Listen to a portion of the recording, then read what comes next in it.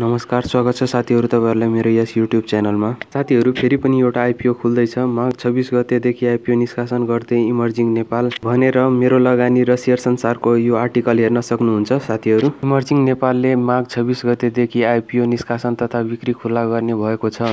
कम्पनीले पाँच करोड पचपन्न लाख साठी हजार रुपियाँ बराबरको पाँच लाख पचपन्न हजार छ सय किता आइपिओ जारी गर्न लागेको हो। कम्पनीले निष्कासन गर्न लागेको पाँच लाख पचपन्न हजार किता सेयर मध्ये दुई प्रतिशत प्रतिशत अर्थात् एघार हजार एक सय बाह्र किता कर्मचारी र पाँच प्रतिशत अर्थात् सत्ताइस हजार सात सय अस्सी किता सामूहिक लगानी कोषका लागि सुरक्षित गरिएको छ।